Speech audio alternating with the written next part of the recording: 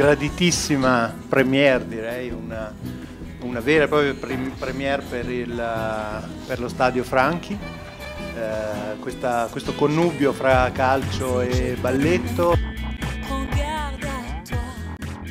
È due anni che volevamo fare uno spettacolo di danza allo stadio, per tante ragioni non ci siamo riusciti, quest'anno anche lì, nel momento in cui si è iniziato Maggio Danza, con la Fiorentina ci siamo rivisti, è rivenuta questa voglia e si è deciso di partire a fare questa operazione. Loro, eh, il loro entusiasmo sapranno trasmettere un qualcosa di diverso da una partita di, di calcio come, come la nostra. E durante quel servizio fotografico ci siamo divertiti molto e ne ho avuto la conferma che non sono un gran ballerino, quello sicuro.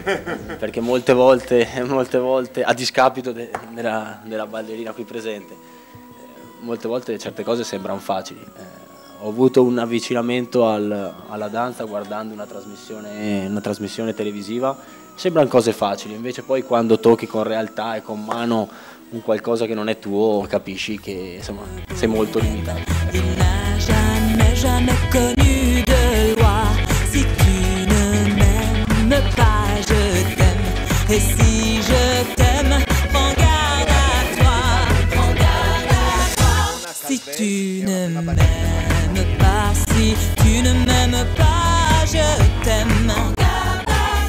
È un grandissimo avvenimento riuscire a combinare due entità così distanti ma che hanno in fondo così tanti punti in comune. La passione, l'energia, l'arrivare a un punto, eh, una data in cui succede lo spettacolo o la partita. Per cui diciamo che è un avveni- un avvenimento inedito e sono molto contento di essere qui.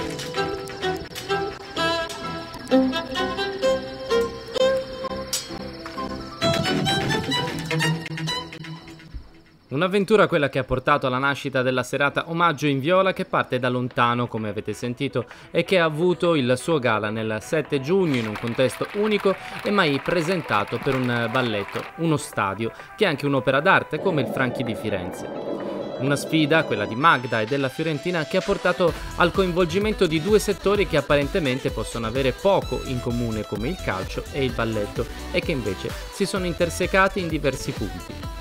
Un viaggio che è passato attraverso prove, allenamenti e collaborazioni come quella con alcuni atleti del settore giovanile viola che hanno contribuito ad animare le scene dell'atto conclusivo della serata o la presenza di un flash mob nell'intervallo di Fiorentina-Torino da parte dei ballerini per invitare i tifosi allo spettacolo.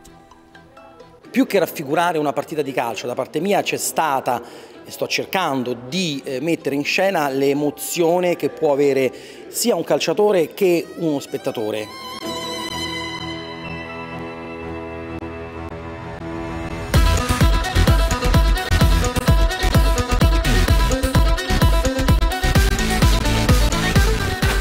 Eccovi allora alcuni spunti della serata del 7 giugno, introdotti dalle parole della splendida Eleonora Bagnato, che ha danzato come special guest sul tema di Medea, coreografia di David Bombana. Sì, in uno stadio è la prima volta, quindi emozionante perché ho visto qua l'Italia con mio marito, quindi adesso tocca a me. Quale momento vive secondo te la danza in Italia? Beh, è un momento difficile, infatti sono qui anche per questo, per aiutare il Maggio Fiorentino, un amico, un coreografo una persona di cuore che ha lavorato con me nel video di Vasco Rossi e tante altre occasioni.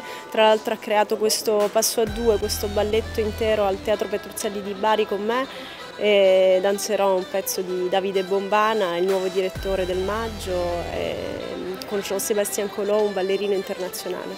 Beh, è un balletto molto drammatico, soprattutto che in quel periodo ero incinta di quattro mesi, quindi è un bel ricordo con la mia creatura già, è una creazione che è andata benissimo e spero di tornare qui a Firenze con tutto il balletto di Medea. Si è passati dalla passionalità poi di Carmen all'amore non consumato nel passo a due, prelude après la midi du fond, sempre di Bombana, e infine con la spumeggiante chiusura a ritmo di Bob Marley sui passi disegnati da Alessandro Bigonzetti per il suo Fair Play.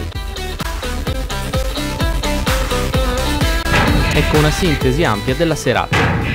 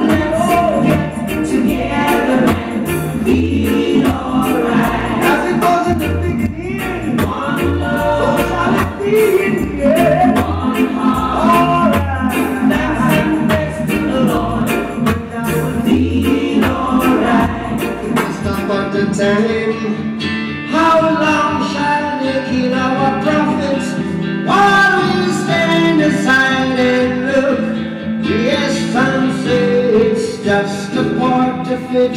We've got to fulfill the book.